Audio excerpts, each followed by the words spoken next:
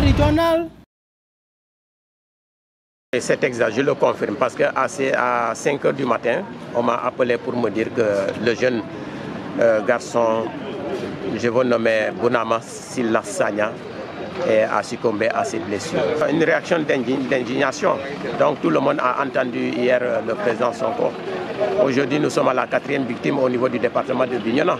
Tous c'est des, suites par des balles.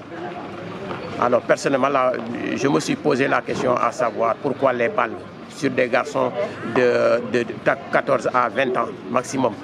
Est-ce que véritablement ce sont des militaires qui ont tiré sur les, gosses? Je ne pense pas.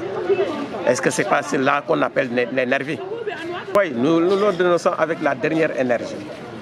Et ça, les gens se répondront par leurs actes.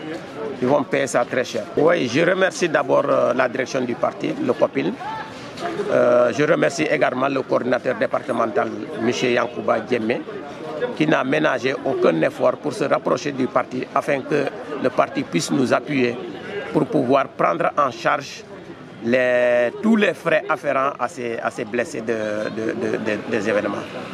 On a pris en charge tous les frais d'hospitalisation, tous les frais.